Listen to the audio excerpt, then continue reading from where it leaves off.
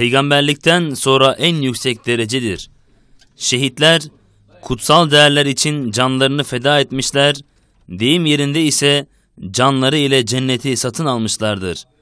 Şehitlik bir iman gereği olup Allah'ın din ve vatan uğruna canını feda eden kişilere verdiği en yüksek manevi rütbedir.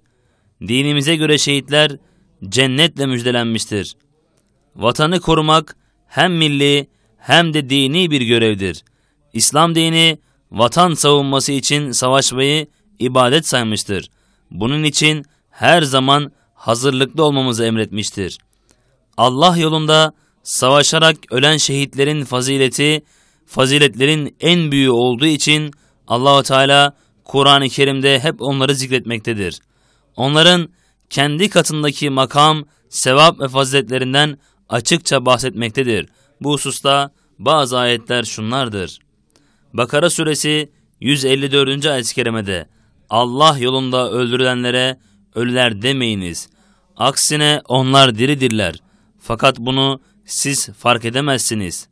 Yine Ali İmran suresinin 169, 170 ve 171. ayet kelimelerinde Allah yolunda öldürülenleri kesinlikle ölüler sayamayınız. Bilakis onlar diridirler. Rableri katında rızıklandırılırlar. Allah'ın onlara lütfundan verdikleriyle mutlu olurlar. Onlar şehit olmayıp arkalarında kalanlara da hiçbir korku ve üzüntünün de olmadığını müjdelemek isterler. Allah'ın nimetini, lütfunu ve Allah'ın müminlerin mükafatını asla zayi etmeyeceğini müjdelemek isterler. Bu ayetin nuzul sebebiyle ilgili İbn Abbas radıyallahu an Hazreti Resulullah aleyhissalatü vesselam'dan şöyle rivayet etmiştir. Uhud savaşında kardeşleriniz şehit olduğu zaman Allah onların ruhlarını birer yeşil kuşun içine yerleştirdi. Bunlar cennetin nehirlerine varıyorlar, cennetin meyvelerinden yerler ve arşın gölgesinde asılı bazı kandillerde barınıyorlar. Kendilerine güzel yiyecek, içecek ve yuva bulduklarından keşke biri olsaydı da ölmediğimizi, cennette olduğumuzu ve rızıklandırıldığımızı kardeşlerimize ulaştırsaydı. Ta ki cihattan vazgeçmeyip savaştan geri durmasınlar derler.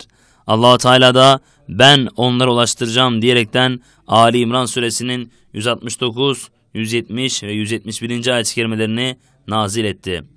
Cennete girdikten sonra şehitten başka tekrar dünyaya geri gelmek isteyen hiç kimse yoktur. Velev ki yeryüzünde olan her şey onun olsa da.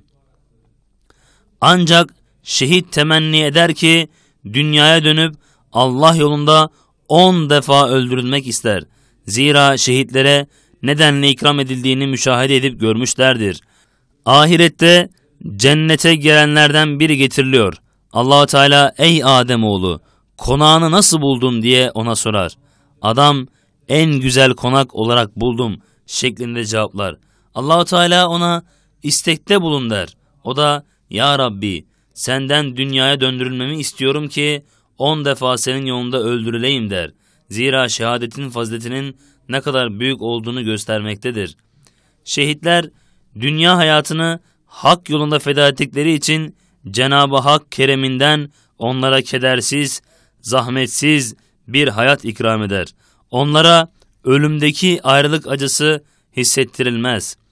Hz. Adem Aleyhisselam'ın evladı Habil ile başlayan şehadet, kıyamet sabahına kadar devam edecektir.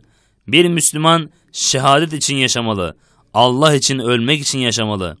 Genç yaşlarında vatanı için canlarını feda eden gençleri cennette reis-i şüheda olan Hazreti Hamza radıyallahu anh karşılayacak ve kendisine akrabalarından 70 kişiye şefaat hakkı verilecektir.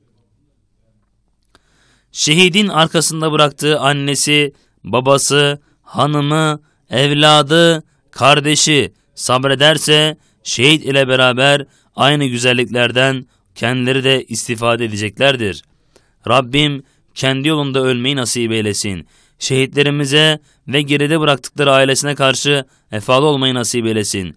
İşte kul, işte ümmet, böyle olur dediği kullarına olmayı nasip eylesin. Yazımızı milli şairimizin mısraları ile sonlandırıyorum. Bomba şimşekleri beyninden inip her siperin, sönüyor göğsünün üstünde o arslan neferin, ölüm indirmede gökler, ölüp püskürmede yer, o ne müthiş tipidir, savrulur enkazı beşer.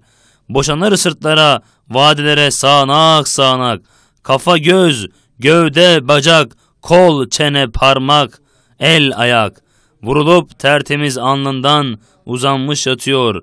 Bir hilal uğruna ya Rab, ne güneşler batıyor.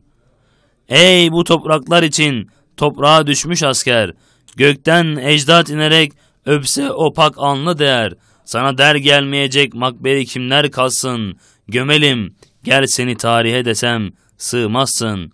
Şehadeti temenni bizden, muvaffakiyet Allah'tandır. Fatih Medresleri Yazı İşleri Kurulu